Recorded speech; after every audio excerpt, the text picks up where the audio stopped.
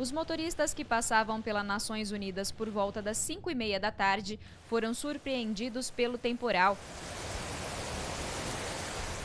A água subiu rápido e em pouco tempo a avenida ficou coberta por uma forte correnteza.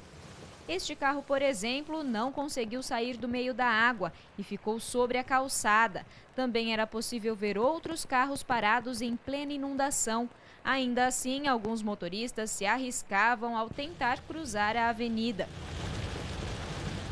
Nos pontos de ônibus, muita gente tentava se proteger como podia. Tarefa difícil com ventos que chegaram a 45 km por hora. Na manhã de hoje, equipes da prefeitura já trabalhavam no ponto mais crítico das Nações Unidas, a quadra 18, onde a enxurrada arrancou parte do asfalto.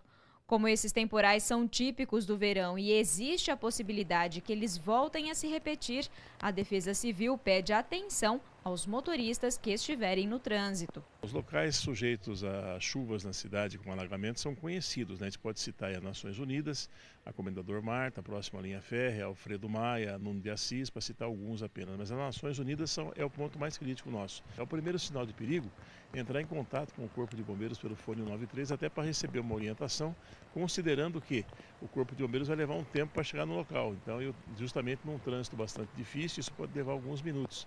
Se você sentir que o veículo está com a água na metade da roda, é hora de você parar a sua marcha, procurar um local seguro e aguardar a chuva passar.